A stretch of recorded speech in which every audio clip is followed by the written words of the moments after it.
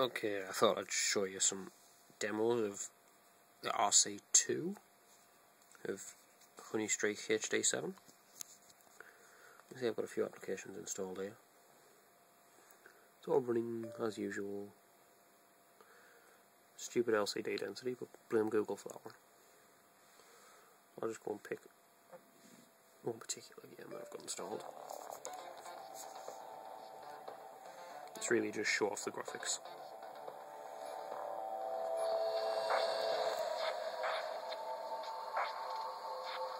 3598 AD, Darius asteroid belt. An asteroid belt. Perfect hiding place for pirates.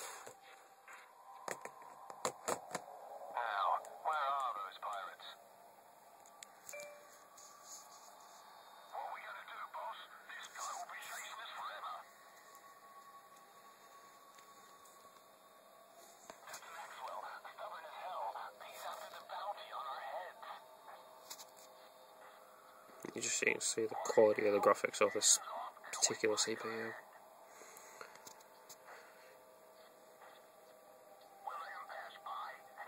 Anybody who actually wants to see this particular game, it's Galaxy on Fire 2 and it's free from the Google market. It's one of the Tegra optimized games.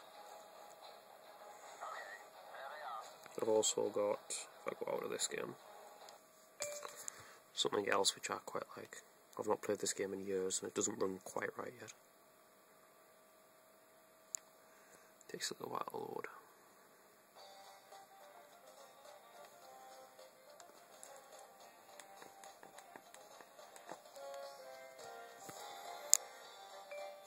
If anybody's ever used to play the old Transport Tycoon games, that's the open sourced version of it. It needs some tweaks to work on this. And I've installed Chainfire's CF bench on here, which is a benchmark application that actually works with dual core devices. I'm just going to run a quick test.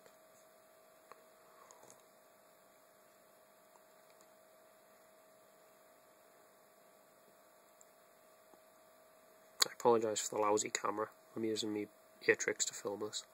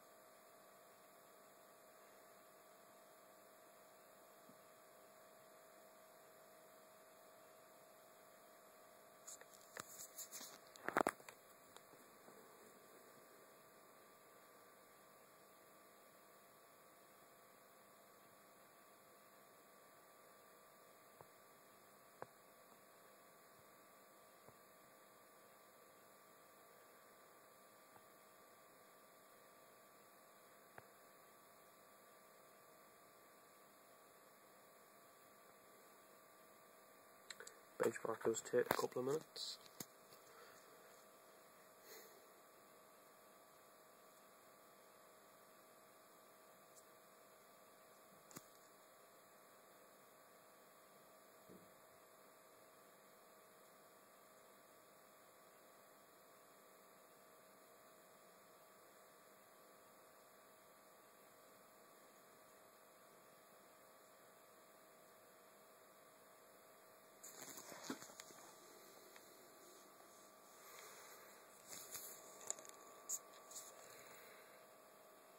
Don't think you can read that very well.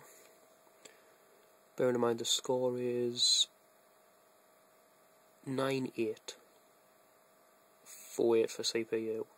The only thing that beats that is the Galaxy S2.